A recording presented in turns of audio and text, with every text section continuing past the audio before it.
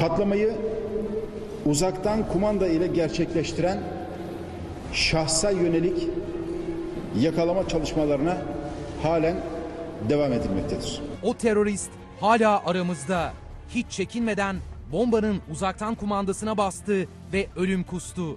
4 askerle 17 yaşındaki asker kızı Buse'yi hayattan kopardı.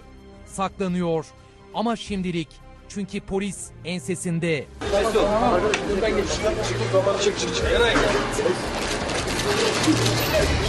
İstanbul Valisi Hüseyin Avni Mutlu, Emniyet Müdürü Hüseyin Çapkın'la birlikte kamera karşısına geçti. Soruşturmada gelinen son durumu anlattı.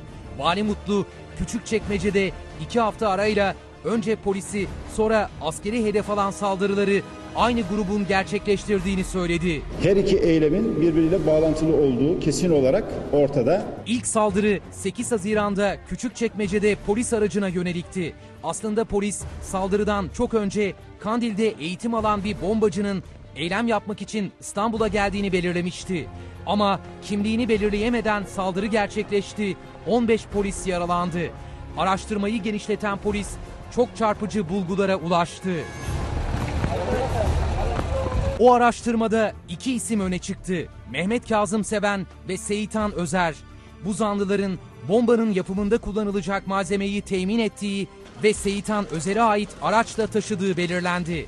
Polis onların tüm bağlantılarını ve irtibat kurduğu isimleri tespit etti. Faaliyet alanları uydu fotoğrafları üzerinden işaretlendi. 21 Haziran günü de operasyon için düğmeye basıldı. Operasyon sabah 5'te başladı. 22 adrese eş zamanlı baskın yapıldı. Aralarında Mehmet Kazım Seven ve Seyitan Özer'in de bulunduğu 19 kişi gözaltına alındı. Baskın yapılan yerlerden biri de bombacının saklandığı evdi. Ama o evde yoktu. Yakalanamadı. Bu operasyondan bir gün sonra da askeri servis aracına saldırı gerçekleşti. 4 asker ve 17 yaşındaki Buse şehit oldu. Peki o bombayı patlatan terörist kim? Vali ve emniyet müdürü ısrarla kimliğini açıklamıyor. Ama çevresindeki çember daralıyor. Eğer Kuzey Irak'a ya da kırsala kaçmayı başaramadıysa her an yakalanabilir. Şu aşamada bir açıklama yapmayı arzu etmiyoruz. Bu şahsın da yakalanması yönünde ciddi çalışmalarımız devam ediyor. Polis bombacıyla irtibatı olan kişilere yönelik operasyon yaptı. Bombacıyı evinde saklayan zanlının da aralarında bulunduğu 10 kişiyi daha gözaltına aldı. Gözaltındaki 29 kişiden 19'u bugün adliyeye sevk edildi. Yakınlarının alkışları arasında İstanbul Adliyesi'ne girdi.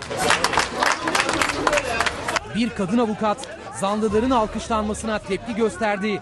Çocuklar ölüyor, siz alkışlıyorsunuz diye bağırdı. Burası yeri değil, orası yeri değil. Polis devreye girdi. Gerginliği büyümeden önledi. 19 kişi adliyede savcılara ifade verdi. Onu serbest bırakıldı. 9'uysa tutuklama istemiyle mahkemeye sevk edildi.